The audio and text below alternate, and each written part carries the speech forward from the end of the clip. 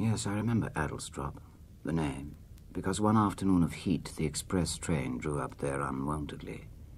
It was late June. The steam hissed. Someone cleared his throat.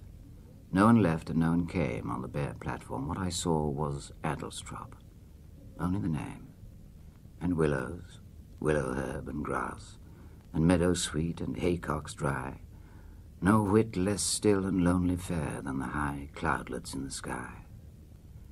And for that minute a blackbird sang, close by, and round him, mistier, farther and farther, all the birds of Oxfordshire and Gloucestershire.